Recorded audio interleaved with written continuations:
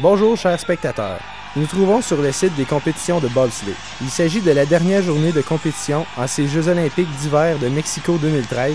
Il était temps, puisque la neige commence à se faire rare ici. Tout est en place pour le départ. Et c'est parti. Excellent départ de nos Canadiens.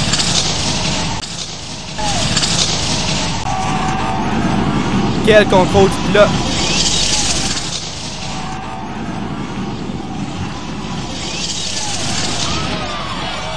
C'est très serré. Attendons de voir le temps intermédiaire.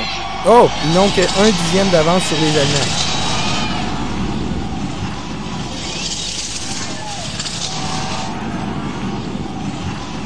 Le dernier tournant.